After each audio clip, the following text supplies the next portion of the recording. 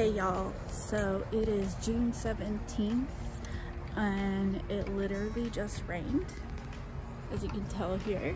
So, and I'm gonna go check out the garden. Okay, so we're gonna do this a little backwards today.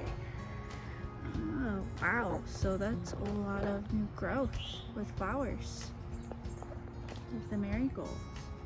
I wanted to do this right now because it did just rain, so I wanted to get it while it's still kind of new and fresh here. I might just take those squashes out because it doesn't look like they're gonna grow anymore.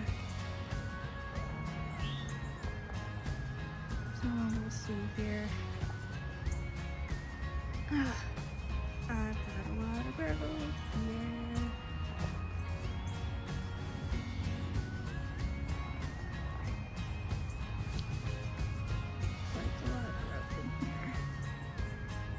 I've got to take out a lot of the dead stuff here.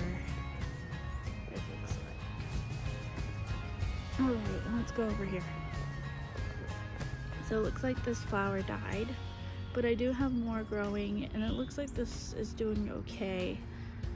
And it looks like I've got a lot of um, uh, watermelon coming out.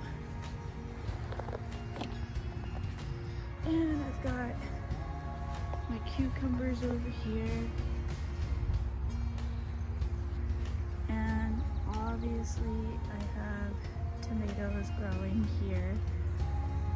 Oh, I've got to take out all the stuff that's dead, half dead here. And I've got carrots. Oh yeah, I definitely want to take these out. Um,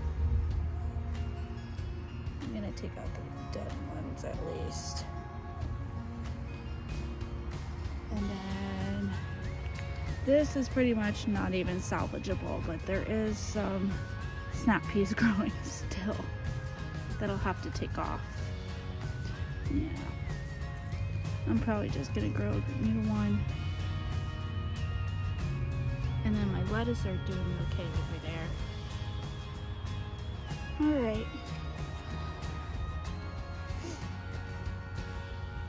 Okay, so it looks like it's doing alright. It just drained a lot, so um, I'll see you guys tomorrow.